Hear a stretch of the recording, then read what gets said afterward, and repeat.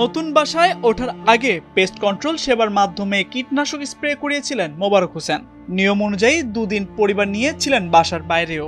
তবে বাসায় ফেরার পরই ঘটে অঘটন। ওষুধের বিষক্রিয়ায় অসুস্থ হয়ে পড়েন পরিবারের সবাই। পরে ষোলো ঘণ্টার ব্যবধানে হাসপাতালে মৃত্যু হয় মোবারকের দুই সন্তানের। এ ঘটনায় এখন শোকে স্তব্ধ পুরো পরিবার। গেল রোববার রাজধানীর বসুন্ধরা আবাসিক এলাকার আই ব্লকে ঘটে মর্মান্তিক এ ঘটনা। স্বাস্থ্য ঝুঁকি এড়াতে আপনার শরীরের প্রতিটি অঙ্গ কতটুকু সুস্থ আছে তা জানুন মাত্র পনেরো মিনিটেই। EW Villa Medica Bangladesh. ওই শিশুদের একজনের নাম শায়েন মোবারক জাহিন আরেকজন শাহিল মোবারক জায়ান। এছাড়া বিষক্রিয়া অসুস্থ হয়ে রাজধানীর বেসরকারি হাসপাতালে চিকিৎসা নিয়েছেন মোবারক ও তার স্ত্রী।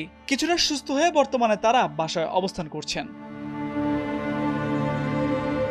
স্বজনরা বলছেন, বসুন্ধরার আই ব্লকে নতুন বাসায় ওঠার কথা লিমা মোবারকের পরিবারের।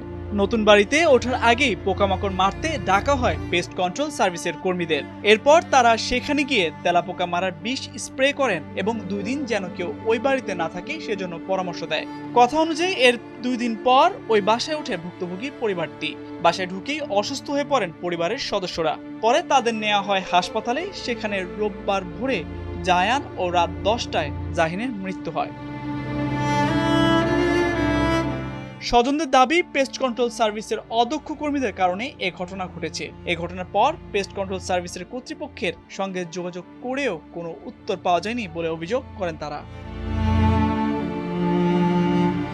প্রশ্ন ওঠে পেস্ট কন্ট্রোলে দুই দিন পরও এমন ঘটনা ঘটার কারণ কি? এর উত্তরে রসায়নবিদরা বলছেন, বিভিন্ন পোকামাকড় দমনে পেস্ট কন্ট্রোলের ক্ষেত্রে ব্যবহার করা হয় ইনসেকটিসাইড কেমিক্যাল এটাকে রসায়নবিদের ভাষায় বলা হয় পেস্টিসাইড এছাড়া পেস্ট কন্ট্রোলের ভেতরে ভোলাটাইল অর্গানিক সাবস্টেন্স থাকে।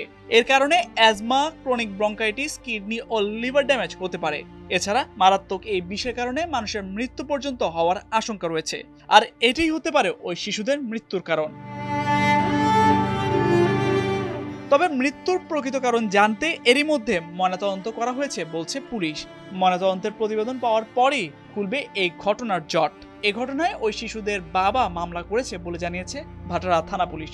এটা আমরা মামলা নিয়েছি অলরেডি তাকে পোস্টমর্টম সম্পন্ন করে বাবা মার কাছে বুঝিয়ে দিয়েছি। ঢাকার বনানী কবরস্থানে দাফন করা হয়েছে জাহিন ও জায়ানকে। একসঙ্গে দুই সন্তান হারানোর বেদনায় ভেঙে পড়েছে পুরো পরিবার। এ ঘটনায় প্রেস সার্ভিস কন্ট্রোলের অধ্যক্ষ কর্মীদের দুশ্চেন তারা। দোষীদের আইনের আওতায় এনে শাস্তির দাবি নিহতের স্বজনদের। তামজিদ মির্জা, কালবেলা।